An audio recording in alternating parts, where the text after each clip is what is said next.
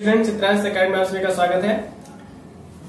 आज अगर आप यूपी लेखपाल और ग्राम विकास अधिकारी की आप तैयारी कर रहे हैं तो आज आपके लिए ये वीडियो बहुत ही इम्पोर्टेंट होने वाला है। क्योंकि जैसे कि आप लोग जैसे कि हम जानते हैं कि आप लोग सभी जो स्टूडेंट हैं वो यूपी लेखपाल और ग्राम विकास अधिकारी के जो एग्ज़ाम होने वाले हैं उसकी तैयारी आप लोग अच्छे से कर रहे हैं। तो उसी के बारे में आज आप बताने चल रहे हैं कि जैसे कि आप लोग तैयारी कर रहे हैं तो हम लोग भी चाहते हैं कि आप लोग का सिलेक्शन हो।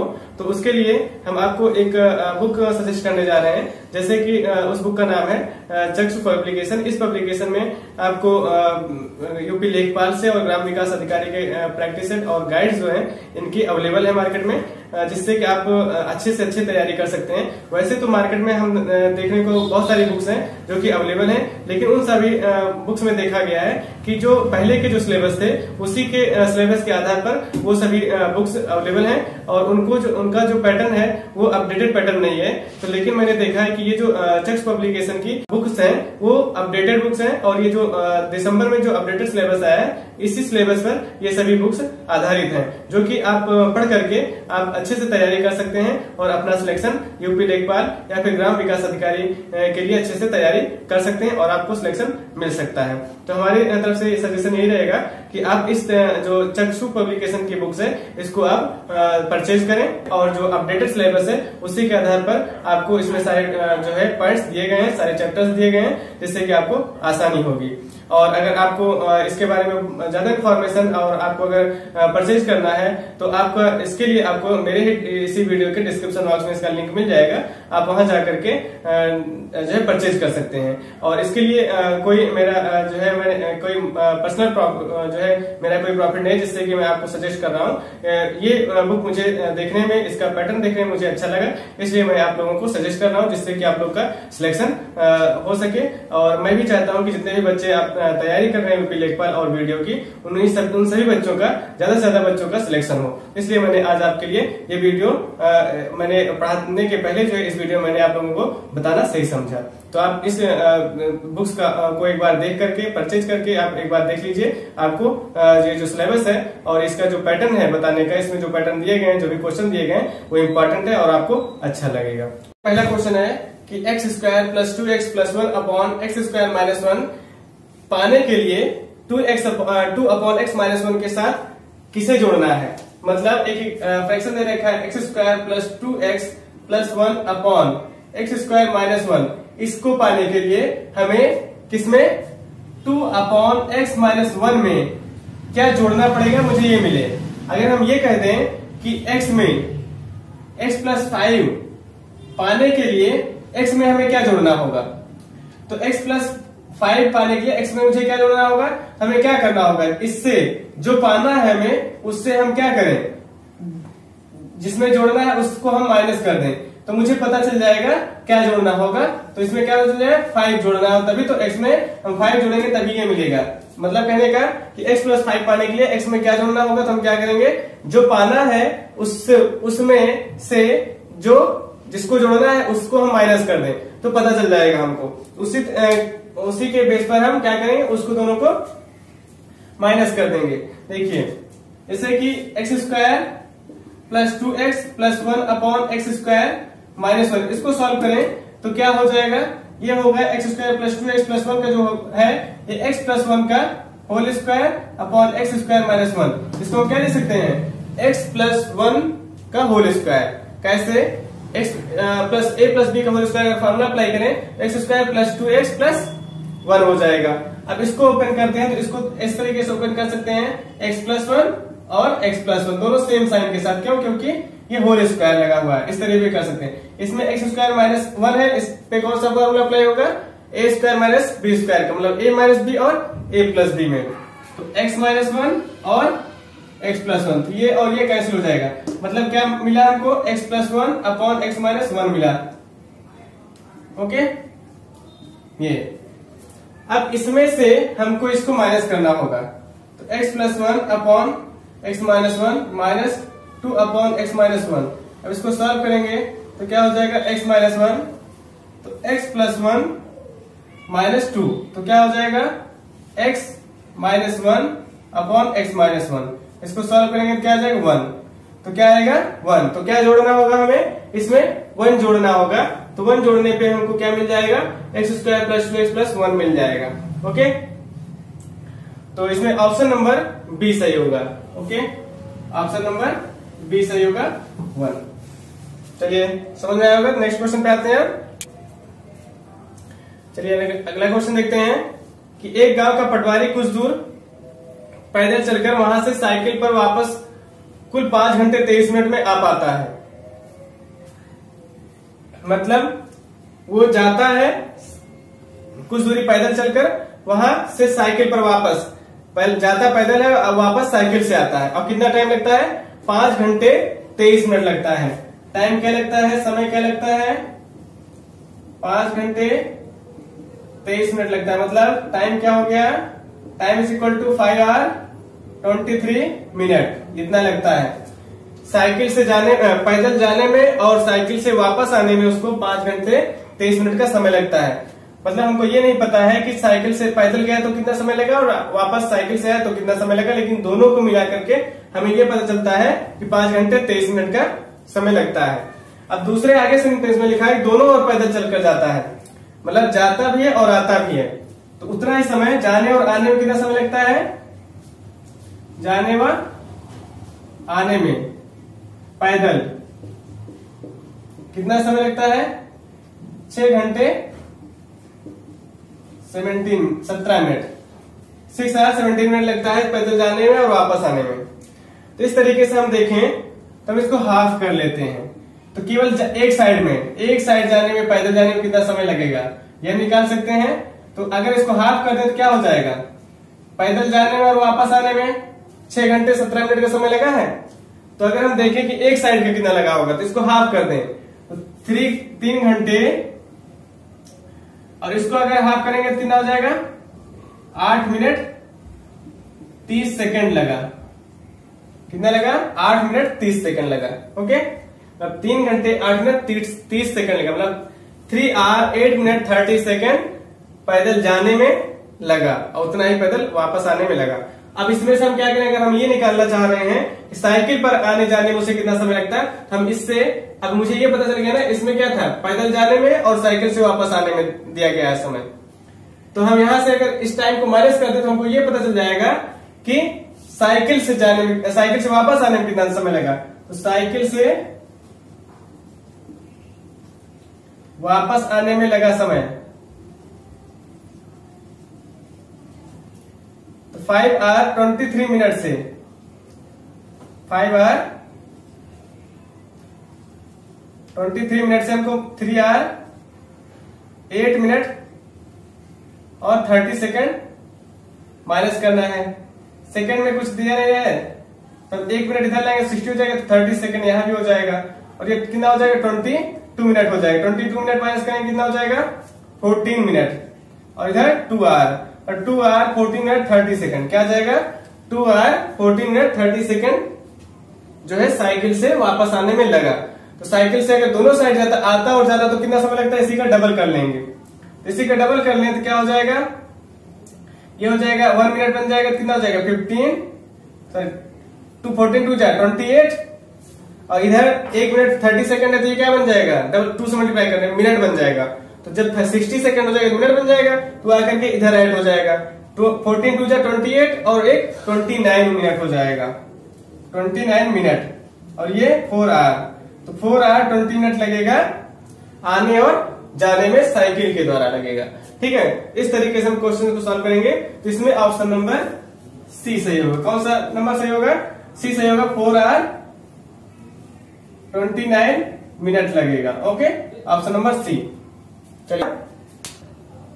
चलिए, अगला क्वेश्चन देते हैं। क्वेश्चन नंबर थ्री पे आते हैं अब ये जो क्वेश्चन नंबर थ्री है, ये है कि एक पुस्तकालय में, एक लाइब्रेरी है, एक पुस्तकालय है, जिसमें तेईस हज़ार चार सौ पैंतालीस पुस्तकें मतलब twenty three thousand four hundred forty five books हैं, जिसमें कि गैर गैर कथा साहित्य पुस्तकें और कथा साहित्य पुस्तकें हैं, दोनों हैं। गैर कथा साहित्य और कथा साहित्य। ठीक है? दोनों पुस्तकें जिनका अनुपात टू टू सेवन दे रखा है। और कथा साहित्य पुस्तकों की संख्या निकालनी है। पुस्तकों की संख्या अगर हम लिख लेते हैं, पुस्तकों की संख्या तेईस हज़ार चार सौ पैंतालीस। कथा साहित्य और गैर कथा साहित्य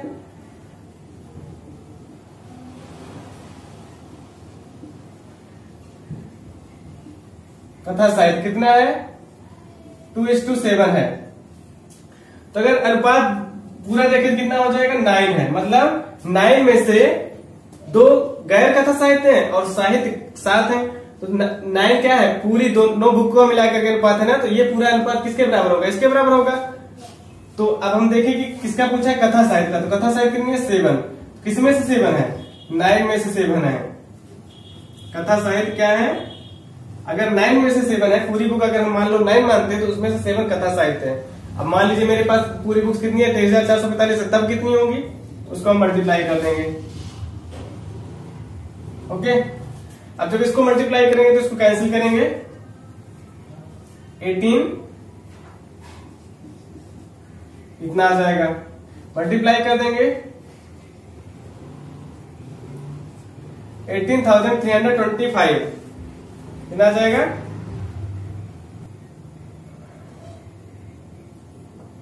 नाइन टू जा eighteen okay eighteen thousand two hundred thirty five क्या आ जाएगा option eighteen thousand two hundred thirty five option number A सही होगा। ओके क्या हो जाएगा option number A eighteen thousand two hundred thirty five जो है। कथा साहित्य के हैं। और बाकी जो बचेंगे वो गैर कथा साहित्य की होंगी। इस तरीके से हम इस क्वेश्चन को सॉल्व करेंगे। ओके चलिए नेक्स्ट क्वेश्चन पे आते हैं।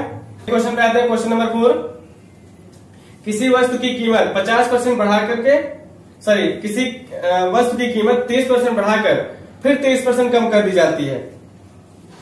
मतलब उसमें एक बार 30 परसेंट बढ़ाया गया और फिर 30 परसेंट घटा घटा दिया गया। तो मूल कीमत की तुलना में मूल्य में कितने प्रतिशत का परिवर्तन हुआ? कितने परसेंट का? केवल परसेंट निकालना है। इसमें जैसे मैंने बताया था सक्सेसिव डिस्काउंट वाला फॉर्मूला बताया था कि अगर ये वाला बताया था ना, कि R percent plus R percent plus R into R upon hundred ये बताया था? तो मैंने ये बताया था आर की जो साइन होगा, वो उस पर डिपेंड करता है कि वो बढ़ रहा है या घट रहा है। अगर बढ़ रहा होगा तो प्लस साइन अगर घट रहा होगा तो माइनस साइन इसमें क्या है? एक बार बढ़ रहा है।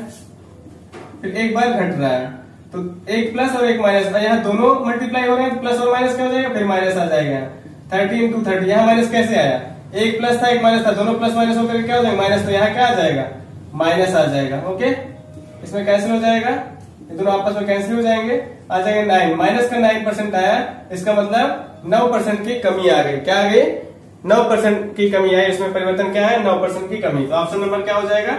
ए सही होगा नाइन परसेंट की कमी आएगा। ठीक है? इस तरीके से इसको सॉल्व करेंगे। ओके? और बाकी अगर हम सोच वैसे हम ट्रेडिशनल मेथड से सॉल्व करें तो जैसे कि मेरे पास कोई सामान था हंड्रेड का था। उसमें तीस परसेंट की तीस परसेंट बढ़ा दिया गया। मतलब थर्टी परसेंट इंक्रीज किया कितना हो जाएगा?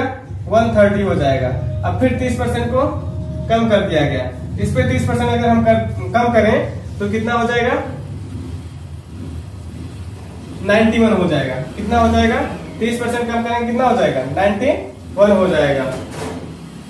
अब इसमें क्या है? पहले से। और इसमें कितना परिवर्तन होगा? तो देखें तो कितना परिवर्तन आ रहा है। कम हो रहा है नहीं पूरा? हंड्रेड था नाइन्टी वन हो गया। कितना कम हो गया? नाइन कम हो गया, नहीं हो गया। इसका मतलब नाइन परसेंट की कमी आ गई। इस तरीके से भी हम इसको सॉल्व कर सकते हैं, ऐसे ही हंड्रेड लेकर के। बाकी अगर ये फॉर्मूला याद है, जैसे कि मैंने बताया है तो इस पे भी हम सॉल्व कर सकते हैं ओके दोनों मेथड से हम कर सकते हैं। जैसा जो भी समझ में आए, वैसे हम क्वेश्चन में जो क्वेश्चन को सॉल्व करते हैं एग्जामिनेशन में जो भी जी लगेगा ओके चलिए आते हैं नेक्स्ट क्वेश्चन पर। चलिए नेक्स्ट क्वेश्चन पे आते हैं कि एक स्कूटर सवार एक्स से आठ बजे प्रातः रवाना होता है और वाई ठीक है एक्स से मतलब कि एक स्कूटर सवार एक्स से अब दो पॉइंट है मान लो एक्स है और एक वाई है। एक्स से वाई की ओर है। अब एक स्कूटर सवार एक्स से आठ बजे प्रातः रवाना होता है। आठ बजे रवाना होता है और वाई की ओर 40 किलोमीटर प्रति घंटे की गति से जा रहा है? ये 40 किलोमीटर। कितने घंटे से? 40 किलोमीटर पर आर। और वाई से नौ बजे प्रातः एक्स की ओर 50 किलोमीटर पर आर से। ठीक है? 50 किलोमीटर पर आवर और दोनों के बीच का जो डिस्टेंस है, वो कितना है?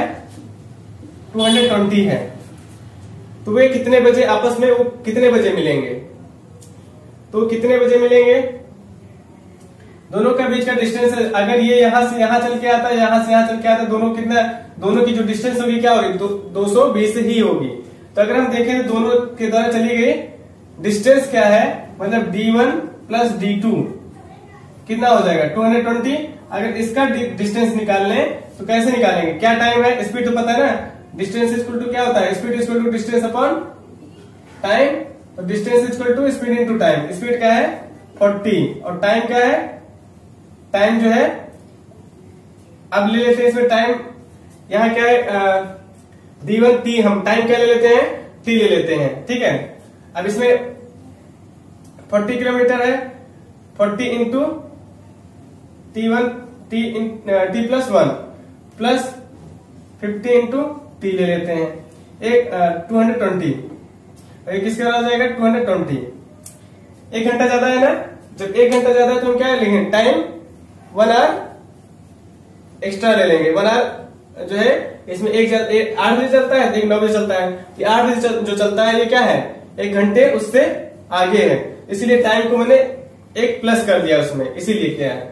तो अब क्या हो जाएगा? Forty T plus forty plus fifty T equal to two twenty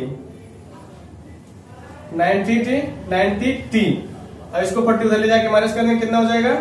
One eighty T equal to twenty T equal to क्या हो जाएगा? ट्वेंटी सॉरी ट्वेंटी टू हो जाएगा. कितना हो जाएगा? टू आर हो जाएगा. ठीक है? मतलब कब मिलेंगे दो घंटे बाद मिलेंगे तो एट से आठ बजे चला है तो कब मिलेगा? दस बजे, ठीक है? और ये दो घंटे बाद मिलेंगे। तो ये हाँ तो तो वे कितने बजे मिलेंगे? तो 50 किलोमीटर घंटे से चलने वाले स्कूटर दो घंटे बाद मिलेगा। दो घंटे बाद मिलेगा तो कब मिलेगा? नाइन, नौ, दो, ग्यारह। मतलब कब मिलेगा? ग्यारह बजे मिलेंगे, ठीक है? आपस में कब मिलेंगे? ग्यारह बजे मिलेंगे। ये निकाला था कि एक स्कूटर सवार एक से आठ बजे प्रातः रवाना होता है। तो टी की वैल्यू है ना? तो टी का वो दो घंटे तो, तो टी किस टी टाइम किसका था? फिफ्टी किलोमीटर पर आने वाले का था। ये दो घंटे बाद इसका क्या हो जाएगा? ग्यारह बज जाएँगे। और इसका क्या बजेगा? बारह बजे। जब ये ग्यारह तो ये सॉरी ये क्या हो जाएगा? आठ आठ तो इसमें जो है तीन ऐड करेंगे। तो कितना हो जाएगा? आठ तीन ग्यारह। दोनों आपस में कब मिलेंगे? ग्यारह बजे मिलेंगे। जैसे कि ये टी इसका टाइम क्या था? टी प्लस वन था। इसका टाइम क्या था? टी था। अगर ये कब चलता है, दो घंटे लगाता है तो ये कब मिलेगा यहाँ। ग्यारह बजे, और ये कब मिलेगा। टू प्लस वन कितना हो जाएगा इसका? थ्री हो जाएगा। ये भी इलेवन पे मिलेगा। तो मतलब ग्यारह बजे दोनों आपस में एक दूसरे को मिलेंगे। ओके तो कब मिलेगा, ग्यारह बजे मिलेगा तो ऑप्शन नंबर बीस सही होगा, ग्यारह बजे। ओके ये सारे क्वेश्चन जो मैंने बताए, ये सभी प्रीवियस ईयर के जो यूपी लेखपाल के एग्ज़ाम हुए, उसमें आए हुए क्वेश्चन है तो आप इन सभी क्वेश्चन को अच्छे से देखें और इसकी प्रैक्टिस करें और इससे रिलेटेड जो भी क्वेश्चन है, आप अपने प्रैक्टिस सेट से सॉल्व करते रहें, जिससे कि आपको एग्जामिनेशन में आने वाले जो भी क्वेश्चन है, उसको आसानी से आप कम समय में सॉल्व